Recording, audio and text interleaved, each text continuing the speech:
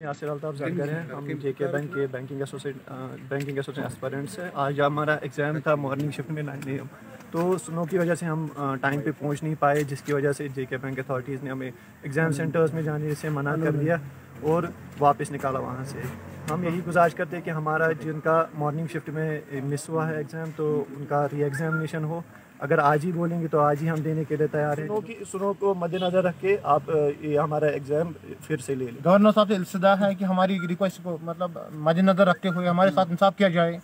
क्योंकि हम भी पढ़े लगे लोग हैं यहाँ पे क्या कर रहे हैं? बर्फ़ में हम पहले ये एग्ज़ाम एग्ज़ाम कॉश किया था जिनका ऑलरेडी क्वालिफाई हुआ था वो भी बेचारे फिर से दे, देने के लिए आए।